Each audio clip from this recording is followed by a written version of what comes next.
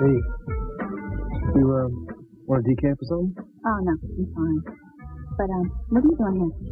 I mean, you should be home in bed. You never left the hospital to go to the prom anyway. Hey, look, it all turned out okay. So, uh, ain't no use Monday morning quarterbacking, right? Yeah, I guess. Anyway, I stopped by for a cup of coffee and Beth asked if I wouldn't mind closing up for her. I said yes, because A, she's good people, and B, I never turn down work. And that's something I learned from uh, my many years at the University of the Streets.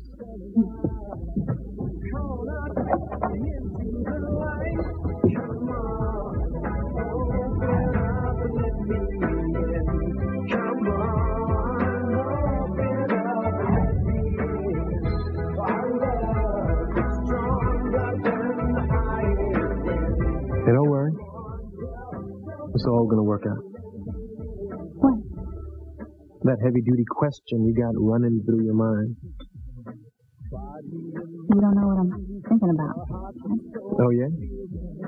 How's this? You can't sleep because you keep thinking about this guy and this girl. You're not sure if this guy feels the same way for this girl as she feels for him. Well, I can tell you right now, he's crazy about her.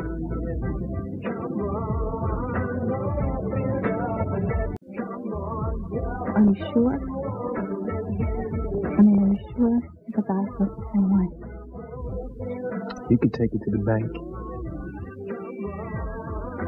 How do you know? Well, you never noticed? When they're in the same room together, the temperature goes up a hundred degrees. The first time I saw Theresa and Ethan hanging out together, I totally got the big picture. Even if Ethan was a little slow on the uptake. Right, uh, yeah, right. Um, Theresa and Ethan. That's what you were thinking about, right? Well, well, yeah, of course. Who else would I? Who else? Who else? Wait a minute. You thought I was talking about you and me. No. Oh, come on. Now, Whitney, we both know you're the world's most terrible liar. Okay, when I said that guy returned the girl's feelings, you were happy for a second.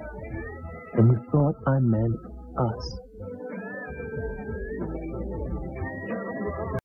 You thought I was talking about us, didn't you? You don't know what you're talking about. No? Well, before you seem to have an awful lot of negative things to say about Theresa admitting how she feels to Ethan. Well, that's because it's bound to end in disaster. You know what I think? I think bottling up your emotions for so long that you start to question whether you've even got any. That's bound to end in heartbreak. Well, I'm not bottling up any emotions. And you could have fooled me. You know, I think you came in here tonight because you had an idea that you'd find me. Well, that's just ridiculous. I came here to maybe see if I could find Theresa.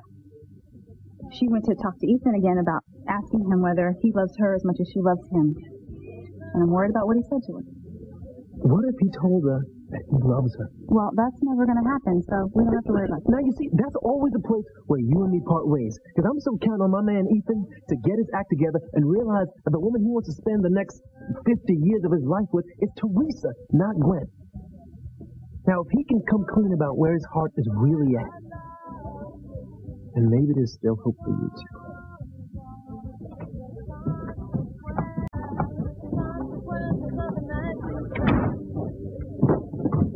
No, Theresa. Hello. How you doing? You want some coffee? Oh, yeah, thanks. Are you okay? It couldn't be better. Hello. I'm really sorry, Theresa. I just can't stand to see you feeling like this. like you know what's best for everyone. If you'll please excuse us, I'm trying to talk to my best friend again. Well, maybe your best friend don't want to be hearing all this negativity right now. I mean, it's one thing to step on your own dreams, but why not be your best friend a solid by leaving hers alone? No, no, no. You know what? I ain't finished. Now, suppose somebody told you to quit playing tennis because they thought that you were never going to make the Olympics or uh, that uh, fancy tournament in England. It's Wimbledon. And look, it's not the same thing at all, okay? I actually have a real chance to play championship tennis there one day. It's been my dream forever, and I've been working very hard towards it. And From what I can see, Theresa's been working just as hard to get Ethan. So, Theresa, look, maybe it's none of my business, but I don't think you should give up, okay? Not until you hear from Ethan's very own lips that he doesn't love you. Thanks for being in my corner, Chad. Sure. You love Ethan? You do whatever it takes to get. Don't tell her that, Chad. Why not? Sometimes things in life don't come easy. Sometimes you gotta go out there and fight for it. With everything you got.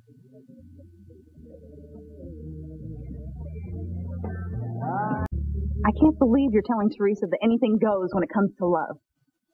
Well, what about telling lies? People get hurt when you tell lies, don't they? Well, look, I draw the line at sticking knives in people's backs, okay? But yo, a white lie here and there, sometimes you've got no choice. You know what? You are unbelievable. Do you know that? No, you are awfully self-righteous about the truth when you can't even be honest with your own self. I don't know what that means. Like I said, you want to win, you got to play the game by the same rules as your opponent. You keep talking about love like it's some sort of game. No wonder some people don't have a whole lot of trust in their relationships. Some people. Well, it certainly doesn't inspire a whole lot of faith when certain people make it sound like love is all about deception. Whoa, whoa, whoa, don't go putting words in my mouth, okay? Look, love is about being real, about being on the up and up with yourself and everybody else.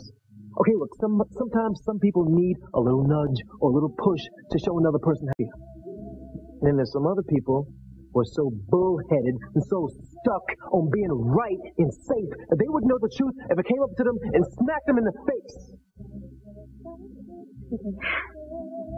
Are the two of you going at it about Ethan and me, or the two of you? You know, I think we better get going. Thanks for the coffee, Chad. Yeah, no problem. Yo, good luck. Anybody with the guts to fight for what she wants deserves to get what she wants. Thanks.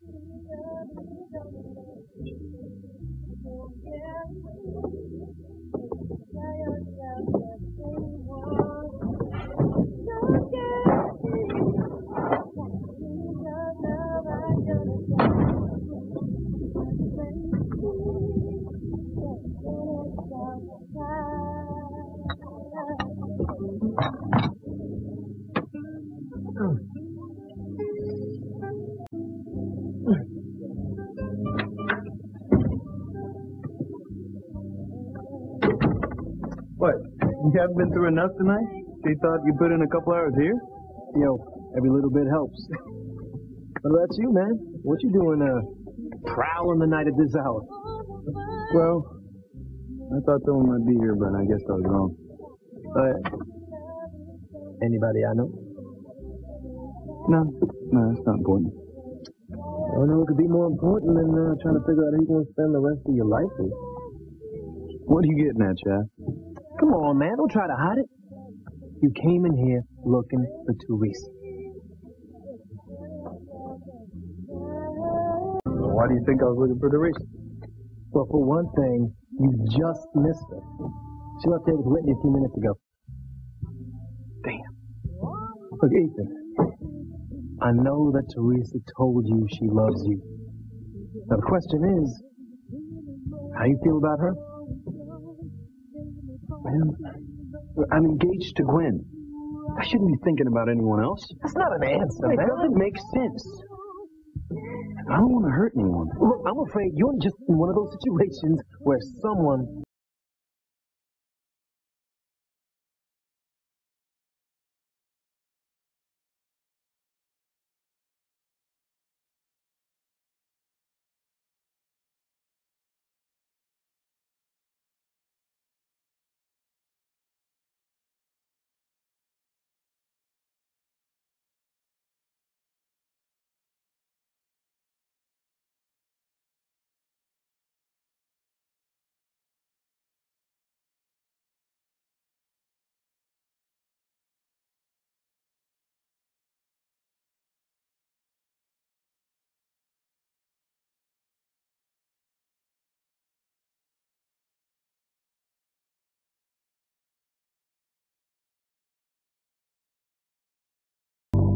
Oh,